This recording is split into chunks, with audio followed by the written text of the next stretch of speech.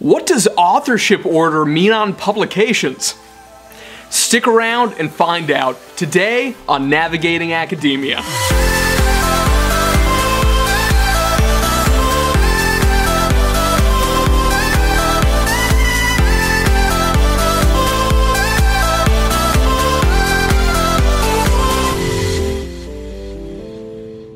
What's up everybody? My name is Dr. Jay Phoenix Singh. I want to sincerely welcome you to this episode of Navigating Academia, your leading source for guidance on how to advance your career in academia.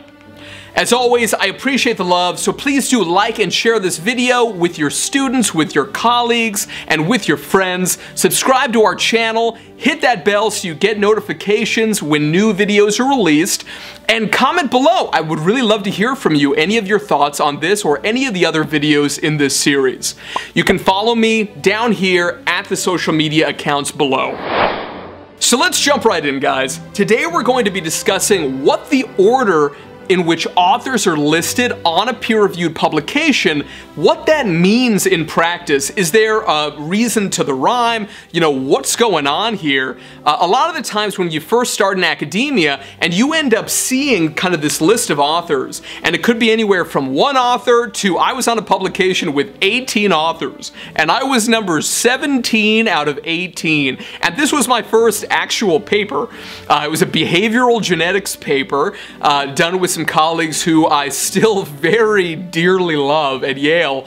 Uh, and it was an amazing experience for me to learn so much. But in terms of author order, I, I was the worst possible uh, place on the paper, as it were. But to be fair, I also made the least significant contribution, so that's pretty fair.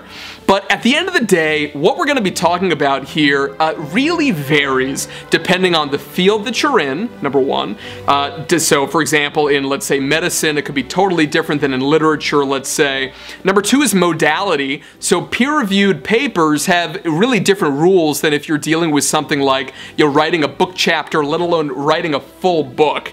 Uh, you know, these, uh, you know, the reasons behind why authors are listed in a given order can totally change based on that. And number three is the country in which you are working, uh, or the country in which, let's say you're a grad student, for example, you know, you're, you're publishing your work, and let's say that you're doing it in the UK and you're publishing in a British journal it, it could be totally different in terms of the rules relative to, let's say that you're in the States or you're in Australia or any of these other English-speaking countries, let alone if you're publishing in a different language. So for example, my work's been published in a variety of different languages, everything from, you know, Danish to Dutch, I've got work in German, I've got work in so many different languages, and, you know, because of that, authorship order can really vary in terms of its practical meaning. So please do take take what I'm about to say with a grain of salt. I'm just going to be telling you about my personal experience, which is in the field of medicine and behavioral health. Uh, so if it's not the case in terms of your field, that's totally fair. But within this field, I can tell you that this is the case in terms of across the board. So let's kick it off with the first author. The first author, basically, this is their baby. They would have come up with the idea for the paper, and if they didn't come up with the idea, they've really nurtured it along the way. Uh, they should have written the majority of the paper. Now, it is the case that let's say you're working with the statistician, maybe they wrote the method section, maybe they wrote, you know, parts of the results, maybe they, you know, drafted the tables or the figures, or they helped with appendices, uh, but at the end of the day, it's something where the first author is the one who uh, essentially is putting themselves on the line more than any other author on the paper. Usually they're also what's called the corresponding author.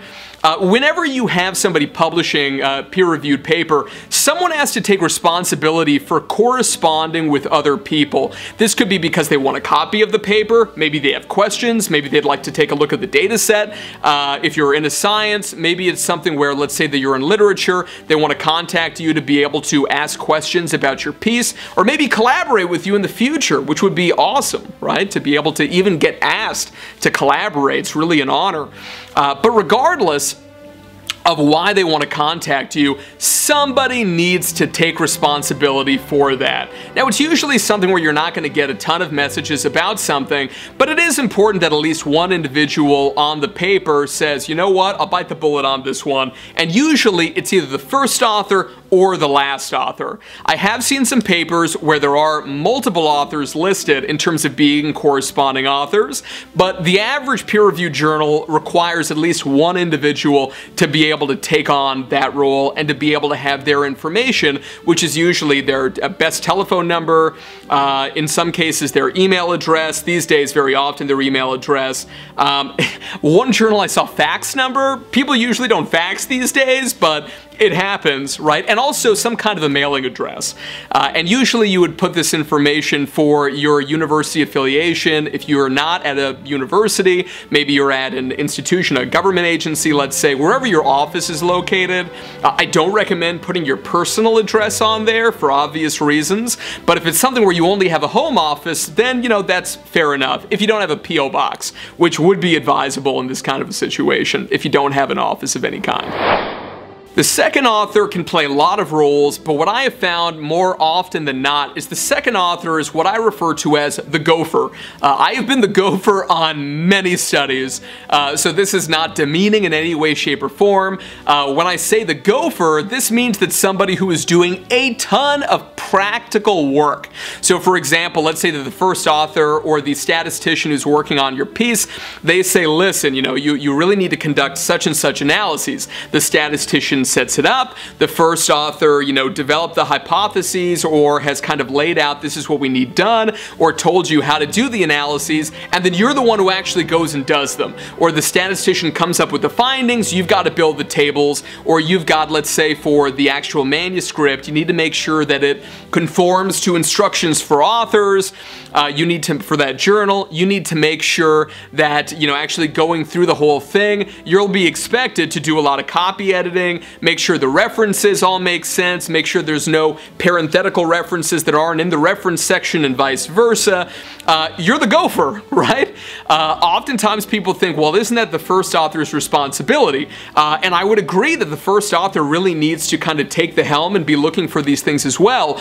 But if they're incredibly busy or it's something where, you know, you and your supervisor have been working on a series of papers and, you know, you're a graduate student or you're a postdoc and this is your postdoctoral supervisor, that's fair enough. Uh, that obviously they'll have a couple of the papers where they're kind of taking the lead. And even though they're taking the lead, you're still the graduate student or the postdoc, and this is something that you'll be expected to do. Uh, for better or worse, right? It's kind of, you know, earning your keep, as it were, kind of, you know, earning your, your lashes, some may say. Uh, and that's fair enough. You really do need practice if you're an early career professional doing something like this. Um, obviously, you know, the, the higher up you get in academia, it'll be the case where the likelihood that you being a second author, you're not going to be expected to be the gopher. You know, that may be the third, the fourth, the fifth author, you know, etc. Uh, but usually you'll have at least one author on there who did a ton of work. Uh, if not, there's usually an acknowledgement section, and in the, I've been in many acknowledgement sections when I was a, a postdoc and a grad student where I wasn't an author on the paper, but, you know, I was doing favors. People would send me papers to be able to, you know, have a look at.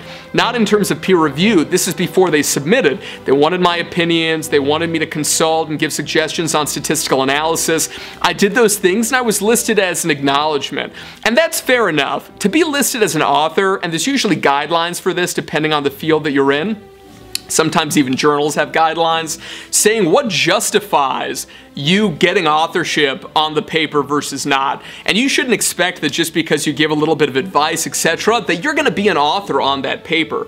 Uh, and obviously, not only a paper, but let's say that you give a lot of guidance on something that, you know, arguably is a larger project, something like a book, for instance. Uh, don't expect that just because, you know, you give assistance in these things that you're going to be an author on the book. Again, acknowledgement section, for sure, that would be the right thing to do. But even that sometimes you don't end up getting. Uh, but at the end of the day, think about all the different reasons why you would you would help or why you would play that kind of a role um, if you do. But you know, generally speaking, you know this is the reason why you've got second authorship. Now it's very rare, but I have known a few situations where the second author is only second author because whoever the first author is basically poached it from them. I remember back in 2011, I was attending a conference with a lot of really senior level colleagues, uh, and this this was in another country, it wasn't in the States, uh, and I was really enjoying dinner, and there was an argument that kind of broke out between several people who were serving as doctoral supervisors, some saying, well, you know, I'm the doctoral supervisor, so I'm first author on everything. Uh, you know, all the work that they do doesn't matter, you know, the students, doesn't matter who they are, I am the first author on those papers. And they gave several examples of papers that they essentially, you know, they weren't writing the majority of the piece, it wasn't their baby necessarily, they were more in that supervisory function, but they felt that they were giving, you know, so much in terms of the grad student, you know, being very novice that they deserve first authorship instead. So that does happen. It, it is really the exception and not the rule. It's something not to be afraid of. Uh, this is really, you know, one of the only cases where I've heard that that happened. Um, but it's important that I mention that because, uh, you know, uh, per usual, everything needs to be taken with a grain of salt and exceptions need to be appreciated. That's second author.